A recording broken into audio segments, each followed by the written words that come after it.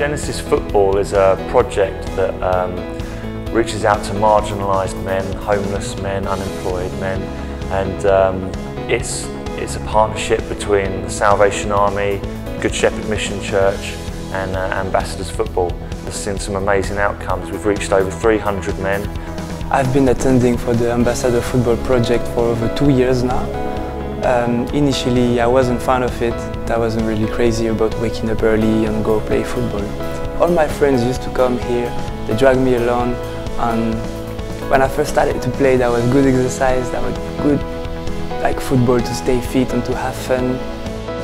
The aim of the project is to really present a love in Jesus to the men that we work with. We find that through football, some amazing things happen. The men quickly, after running around for a while, recognise their fitness levels. Often why these men aren't fit as they used to be is because of their lifestyles. After the football project, after the football aspect is finished, we come back to the Good Shepherd Mission and we have a sit-down meal. Very good Christian values in the group. We bless the food, we speak, we have a Bible study group. Everyone can give an opinion about like the topic or not. And ultimately it creates bonds between people and I think in my life I gained a few friends and really valuable person.